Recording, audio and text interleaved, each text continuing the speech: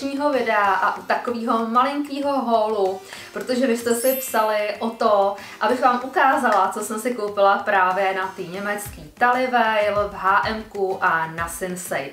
Upozorňuji teda, že jsou to všechno basic kousky, já jsem to říkala právě i na stories, možná i v nějakém videu, že opravdu jsou to jenom takový trička, basic kousky, nic divokýho, tak jestli by vás to i přesto zajímalo, byste psali, že jo, takže tady přicházím uh, tady s tím holíčkem, jinak dneska je venku nádherně, úžasně svítí, já to video točím na poslední chvíli, protože já jsem zakopla o šňůru od žehličky a nalomila jsem si kůstku uh, na palci na noze, jo? V kloubu, takže úžasný, tak tady dneska asi nebudu ani moc pochodovat, tancovat. Já s tím teda sice chodím, ale jako na špičky nebo nějak skákat, to bych asi úplně neměla. Já ty basic kousky, trička, džíny, teď vlastně nosím úplně nejvíc, protože nejsou žádné akce, na který bych vynesla něco jiného maximálně samozřejmě na fotku na Instagram, což jako mě osobně taky baví, proč ne, ale v reálu, když jdu ven, nebo jsem doma, nebo jdu někam na nákup, že jo, no na rengen třeba, tak nosím prostě klasicky džíny, tepláky, teplákovku, tričko, prostě nic velkého asi jako všichni teďko. Já bych vám chtěla ukázat první kousek a to je teda tohle tričko, který je nějaký jako divný. Mně připadá teď, když jsem to oblíkla, že mi to úplně nějak zvláštně deformuje prse, když mám jednu nahoře, jednu úplně dole, nebo jestli to světlo. Já vezmu prvně to H&M, kde jsem si právě kupovala uh, teda tyhle ty basicy a je to nádherná takováhle pudrová barva. Já musím říct, že tu pudrovou já mám úplně nejradši, protože mi připadá, že se hodí ke všemu. Teďko ty nude odstíny obecně hodně letěj, ale dávejte si pozor, abyste si vybrali správný nude odstín pro váš barevný typ. Protože já ačkoliv teda se neřídím úplně podle barevné typologie, což je ostatně vidět dneska na mém make-upu, který je spíš takový teplejší, tak ale eh, co se týká právě těch basic barev, eh, na oblečení u toho obličeje, tak v takovém případě to dělá opravdu hodně, protože já teda teďko často vidím, že hodně letí taková ta béžová, slonová kost, ivory. Jsou to fantastický neutrály, ale pozor, mají teplej podton, takže pokud jste studený typ, tak v béžový nebo v té slonové kosti budete vypadat strašně vybledě až jako nemocně. Takže pokud už si chcete koupit nějakou béžovku, nějaký neutrál, a jste studený typ jako já, tak volte spíš něco takového, co má trošičku růžový podton, jo? Béžových odstínů je spousta, když zvolíte víc takovou pudrově béžovo-růžovou, bude to lichotit víc než taková ta klasická jakoby béžovo-hnědo-žlutá. Fakt to chce se na to zaměřit, protože to je stejně třeba i u těnek nebo u laků na nechty. Opravdu u těch béžových tělových odstínů víc než u jakýkoliv jiných záleží na tom, abyste měli ten správný, který ladí mm, k vašemu typu pleti, protože ve špatný béžový budete vypadat žlutě, nechty vypadají žlutě, zuby vypadají žlutě, pleť vypadá nemocně. Pokud by vás to třeba zajímalo, tak já bych mohla na sebe dát, nalíčit se a třeba je oblíknout do dvou béžových, kdy každá bude mít jiný podtón, abyste si dokázali představit to, o čem mluvím, protože fakt tady u těch nude tělových odstínů je to ohromný rozdíl, samozřejmě každý má jinou barvu pleti, jo, takže bacha na to. Jdeme na další tričko a tohle je tedy taky z HMK, bavlněný, takovýhle nádherný střih a já jsem si ho právě vzala na léto. Protože to je přesně ten případ, o kterém jsem mluvila před chvilkou. Vidíte, že tahle ta béžová je o trošičku teplejší než je můj barevný typ. Takže teďko v ní fakt nevypadám dobře. Spíš jsem tom taková vyblitá, ale já jsem se tohle triko vzala právě na léto, kdy se malinko opálím a potom to mít můžu. Protože zase ta béžová je v úplně jiném kontrastu s pletí. Teďko to opravdu není příliš lichotivý. Každopádně ta béžovka vždycky vypadá nádherně třeba se světlýma džínama na léto. Bílý tenisky, nějaký třeba sáčko, je to moc pěkný, je jasný. Já potřebuji trošinku chytit barvu a ještě říkám, jak je tady zima, jsem tady jenom v tričku, tak jsem taková úplně modrá. Každopádně to triko zase 2XS je strašně příjemný, opravdu tohle je příjemný materiál. Mimochodem, my jsme se bavili, je to asi dva dny zpátky o tom, jak HM teďko nafotilo novou kolekci a dělali jsme si na story srandu z těch fotek, protože Přísahám bohu a psali se to i vy, 99,9% z vás, teda strašně moc lidí ty storíčka vidělo, tak se mi psali, že ty fotky jsou naprosto příšerný, tak já jsem teda ulovila ty basic kousky, které naštěstí byly teda nafocený normálně. Vůbec nechápu, že v dnešní době, když můžeme nakupovat pouze online, eh, tak eh, ty značky přijdou s tím, že to nafotí tak příšerně, že to není pořádně vidět a že to je prostě fakt nelichotivý. Já teda nevím, jestli už jsem tak stará a nemoderní, ale přišlo mi to opravdu hrozný. No a každopádně tohle tričko je super. Já budu pravděpodobně úplně příšerným způsobem teda rozsuchaná, jo, protože jsem si udělala grdol, musím si umýt vlasy a přetahovat to přes hlavu je strašný. Poslední tričko z HMK, který tady mám, tak je teda tohleto a ono je takový jakoby lososový, takový růžovo nude. A vidíte, že tahle ta barva samozřejmě neladí zase teďko s tou rtěnkou, ale mýmu barevnímu typu lichotí mnohem víc než ta předchozí. Schválně se to vraťte, nevím, jestli jste se toho všimli, nebo jestli to bude pořádně vidět na té kameře, protože říkám, tady svítí do oken slunce, ze zhora jdou zářivky, takže fakt je to takový mix světel tak netuším, do jaký míry to bude barevně odpovídat. Každopádně právě ta bežová s tou pudrově růžovou, s růžovým podtónem, takováhle ta nude pink je pro mě osobně mnohem vhodnější barevně než právě teda ta klasická bežovka. Jdeme na Sensei. Tento obchod mi posílal někdo z vás, že je hodně levný a jestli bych to nechtěla vyzkoušet, tak já jsem na to mrkla na internetu a říkala jsem si, že tady pár kousků zkusím. Samozřejmě ceny jsou opravdu velmi, velmi lidový. Tohle tričko třeba stálo 69 korun, džíny tam měly, já nevím, za dvě stovky asi, za tři. Já jsem si objednávala i nějaký slimky, ale ty jsem musela vrátit, protože to byl strašný prostě materiál, úplně se tak krčilo, vůbec to nesedělo hezky. Takže něco jiného, kromě těch basiců, jako jsou takovýhle trička, z mýho pohledu asi není úplně jako rentabilní, to bych se tam nekoupila, ale takhle basic trika na doma, proč ne? Tohle tričko stálo 69 korun a mně se teda strašně moc líbila ta barva. Zase je bavlněný 2XS, moc příjemný, hodíte k džínům, k teplákům a opět nevím, jak dalece to bude na kameře, ale tohle je přesně barva, která sedí mýmu barevnému typu. Ovšem, kdybych se nevzala teda tuhle rtěnku, protože teď se to samozřejmě trošku mlátí, jo. Každopádně je to taková ta Říká se tomu seafoam. Taková zaprášená, zašedlá, pastelová, ne úplně terkysová, ale něco mezi zelenou a modrou, což teda je terkysová, ale je to na takový tý spíš asi šedozelený straně víc. Opět nevím, jak ta kamera to pobere.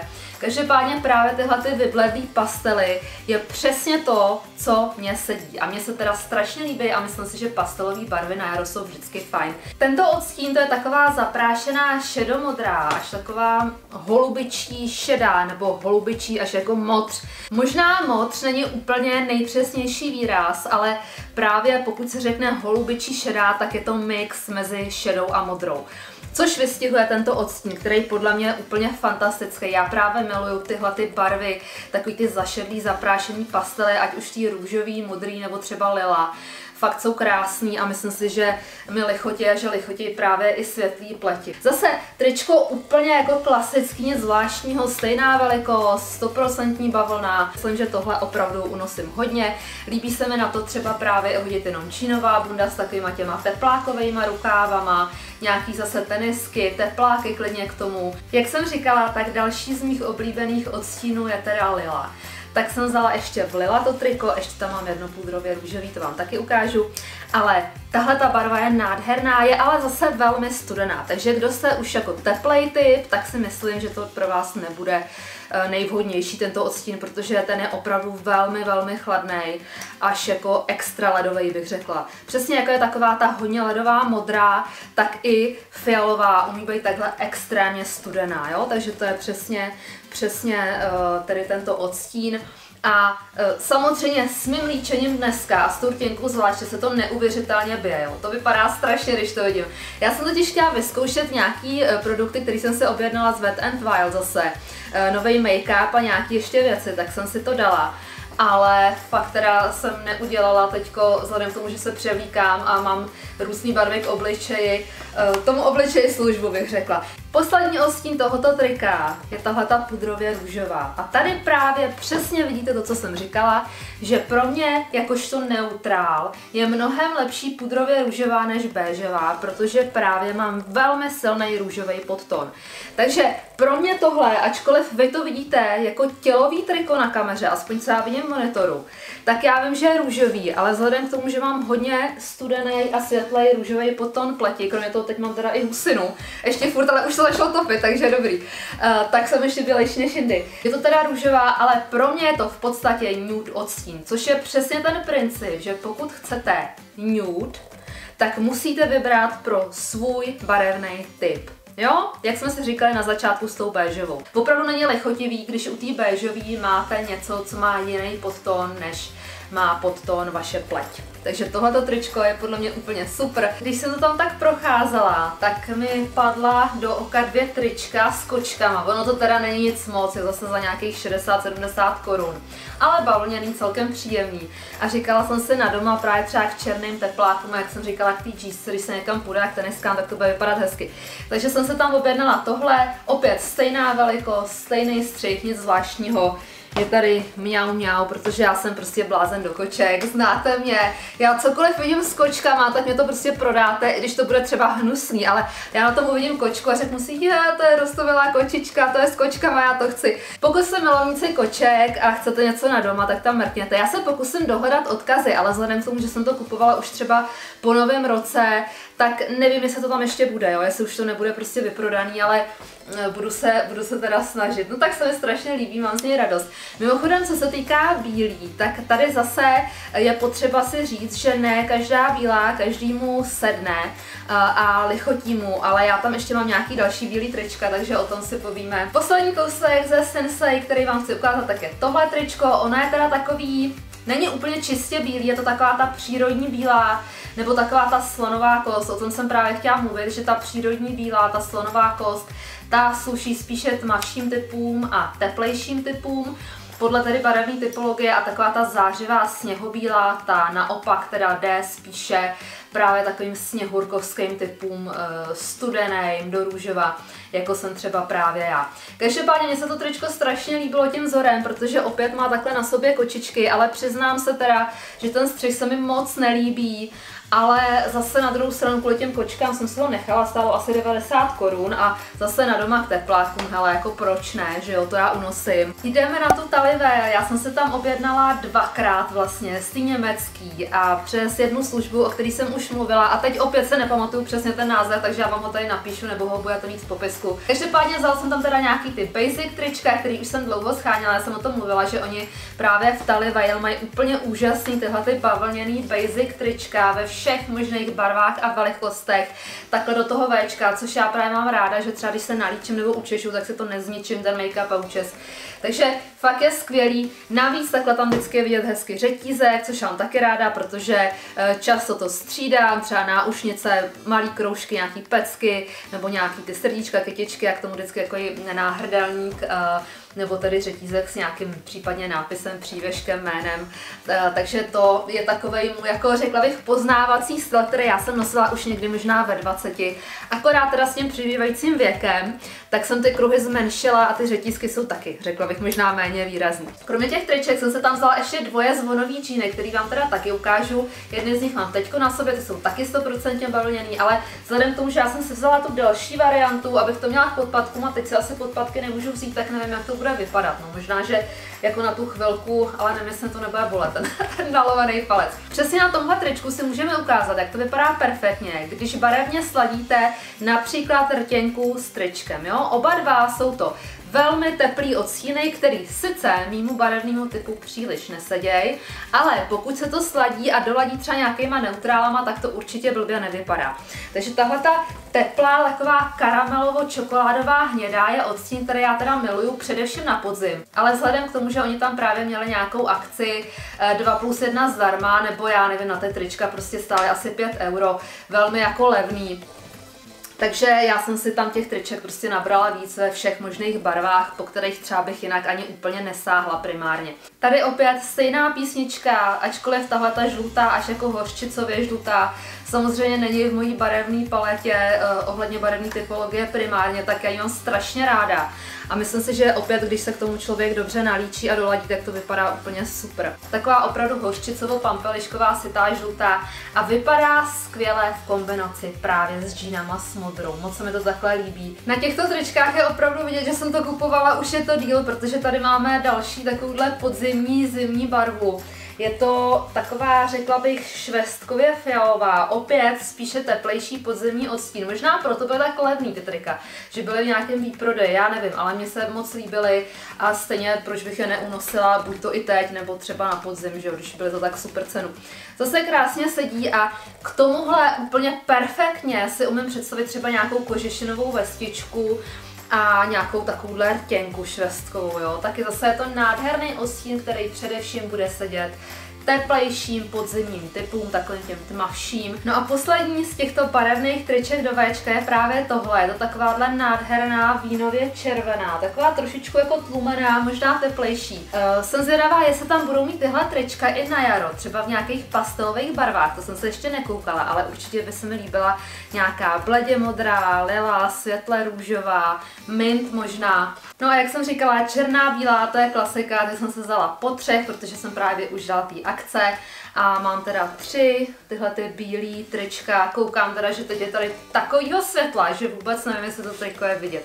Já se pokusím takhle přiblížit, ale uh, opravdu je teda nádherný, musím říct, strašně příjemný a zase k džínám úplně super. Jak jsem říkala, černá to se taky nestratí, akorát jediný co, pokud máte doma nějakého mazlíčka, jako třeba kočku, která na vás pořád leze, tak jsou na tom strašně vidět chlupy, takže já pořád jezdím těma lepícíma válečkama. Každopádně v téhle barvě, v tom světle tady jsem konečně aspoň vidět, jo, že hezky vidíte, je to ostrý, jak to triko vypadá, tak to je celkem fajn. Já mám černou ráda, i když pravda je, že na mě je teda hodně tvrdá a pokud ji dám blízko k obliči, tak musím zvolit trošičku výraznější make-up, protože jinak jsem v tom úplně příšerně vyblitá, protože samozřejmě ten kontrast mojí hodně světlý pleti a ty černý tak to budí zdání, že jsem ještě bělejší, než ve skutečnosti jsem. Další kousky, které jsem tam ulovila taky ve výhodní slavě, opět 2 plus 1 zdarma, tak byly tyhle trička, které jsou trošičku kratší a jsou úplně skvělý právě třeba k teplákům anebo k džínám s vysokým pasem, takže to jsem si říkala, že je fakt perfektní, protože já nesnáším, jak jsem malá a mám krátký trup, jak tady mám nachmoutaný vždycky ty trička, když se něco dělá takhle po ty boky, tak to tady pak dělá takový boule.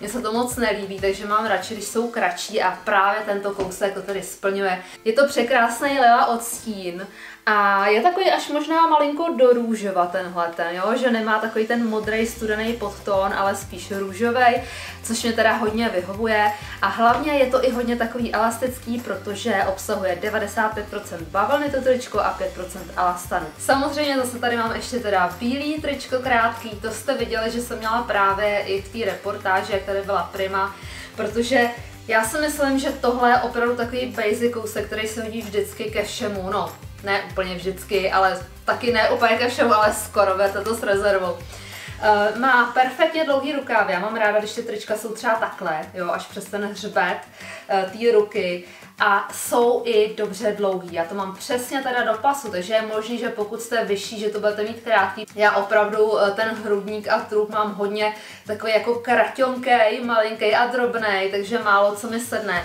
A tyhle ty kratší trička mi sedí teda úplně perfektně. Zase džínám, k teniskám nebo klidně i nějaký sako na to. No a teď vám ukážu tři takové kousky, na kterých jsem si tam opravdu jako ulítla, protože já miluju kitky, miluju roláčky a když jsem tam viděla tu cenu na té jak jsem si říkala, já to prostě beru.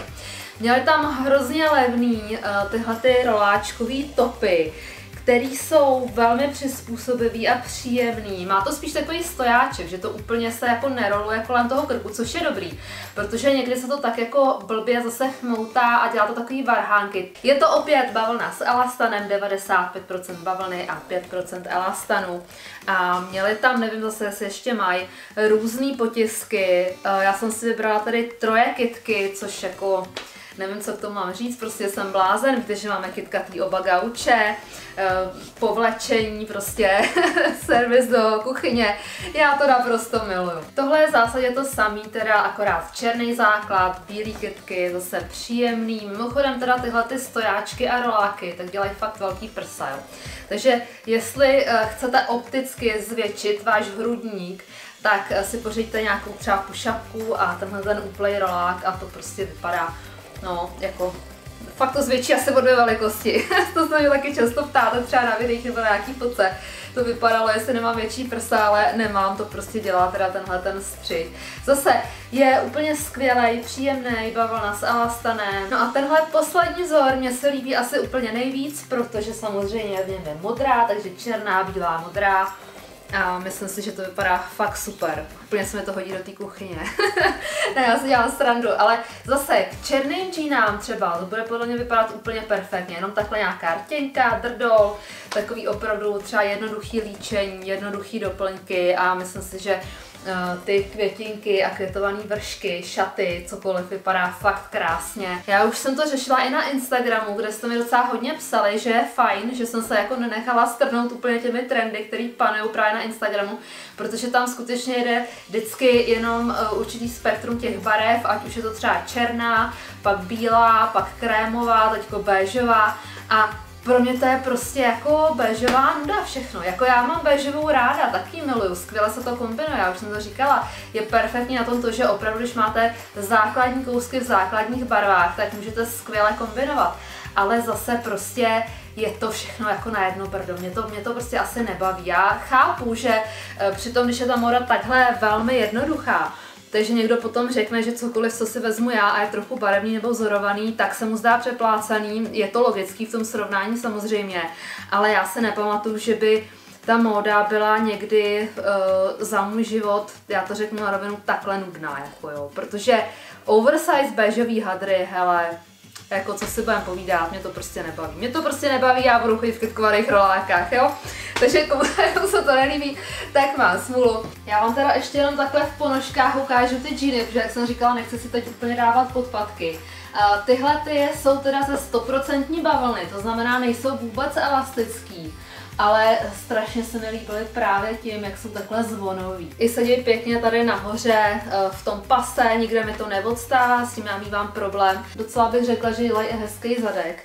Takže džíny Stali Veil pro nás zubaňoury určitě, určitě jo, jestli scháníte, tak se podívejte. No a mám tady teda ještě jedny zvonáče, ono zase takhle, samozřejmě to vypadá debilně, jo, protože já fakt se nemůžu k tomu vzít boty na podpadku, já jsem to teďko zkoušela a to, to se nedá, to prostě bolí. Takže jenom vám to ukážu. Takhle, abyste viděli ty zvony, vypadají fakt super a tyhle ty jsou teda i stretchový. A zase si myslím, že se dějí úplně fantasticky. Nevím, no já tu talinu na tyhle ty velikosti menší mám fakt ráda, protože mi přijde, že eh, to šijou přesně na tento typ postavy, jo? že fakt jako těm drobnějším lidem eh, to sedí a pokud nemůžete někde třeba sehnat, tak si myslím, že tam určitě uspějete. Já vám strašně moc děkuji za zhlédnutí tohoto videa.